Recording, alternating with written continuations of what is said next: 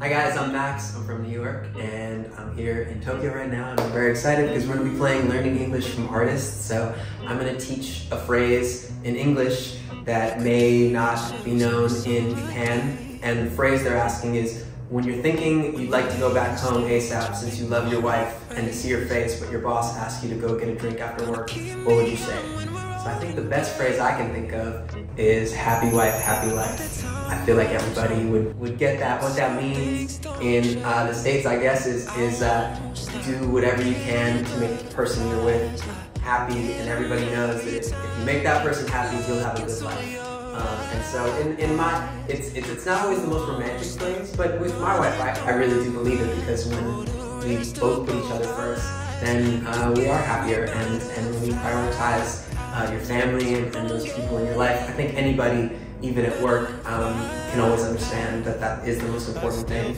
And uh, and I uh, I'm really grateful that I still love my wife uh, just as much, if not even more, every single day as the first day I met her. So if someone asks me they have to go drink, I'd say happy wife, happy life. You know, you know how it is. I gotta make her happy. So that's the phrase I would recommend to someone who is trying to get out of that work drink and wants to go home and uh, and maybe just you know lounge on the couch and hang out for a